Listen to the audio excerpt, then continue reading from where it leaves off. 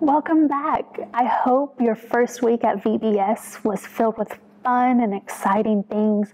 I hope your wall pieces and centerpieces turned out beautiful, and I can't wait to see them. Today in this week, we've learned how the beginning of compassion is seeing, and that that is one of the most true ways that we can live out God's word is we by seeing others hurt, joy, sadness, and when we see those emotions, we start to feel them, and that's our empathy.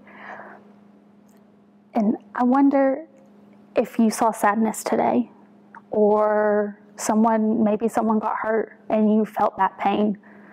Or maybe you saw someone laughing, and when you saw them laughing, you felt happy. All of that is the beginning of compassion.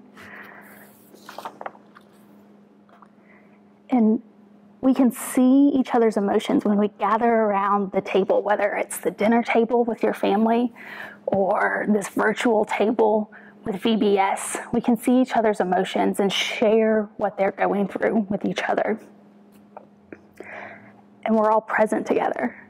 And that is also how compassion starts, is being present with one another.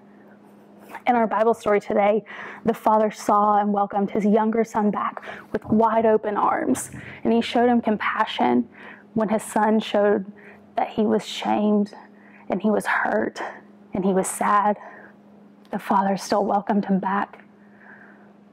But sometimes we forget that the father also showed compassion to the older brother because the older brother was hurt and frustrated that the father opened his arms wide open for the younger brother to come back.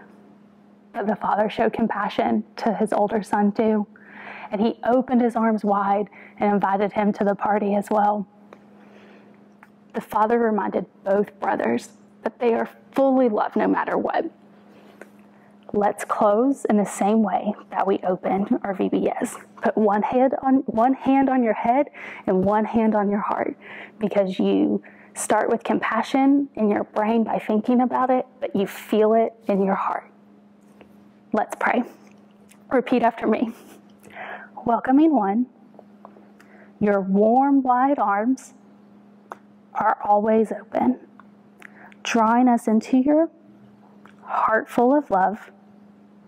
Make our arms your own, helping us see and welcome with compassion all those we meet.